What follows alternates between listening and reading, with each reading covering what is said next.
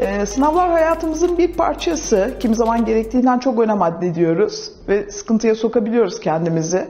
Fakat e, sınavlar için belki bilmek gereken en temel nokta belirli bir düzeyde kaygının kişi için sorun yaratmaktan öte başarıyı da getirebileceği, kişinin daha iyi sınava hazırlanmasını sağlayabileceği. Ancak bazı durumlarda kaygı yüksekse kişinin dikkatini dağılmasına, vücudunda bedensel belirtilerin ortaya çıkmasına ve bildiklerini kağıda dökememesine, akademik olarak geride kalmasına neden olabiliyor. Böyle durumlarda tedavi gerektiren bir sınav kaygısından bahsedebiliyoruz. Çeşitli e, psikoterapi yöntemleri, çeşitli ilaç tedavileri ile sınav kaygısında yol alınabiliyor. Bugün bahsetmek istediğim nörobiofeedback, nörobiyo geri bildirim adını verdiğimiz bir teknik. Bu teknikte kişinin başına çeşitli elektrotlar takılıyor.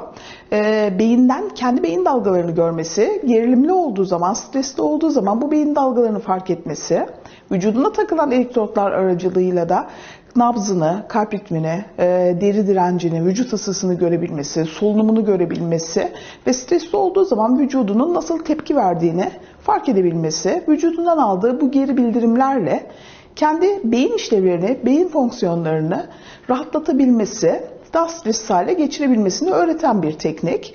E, nörobiyo geri bildirim tekniği birçok sınav kaygısı olgusunda kişiye yardımcı olabiliyor. Sınavlara hazırlanın.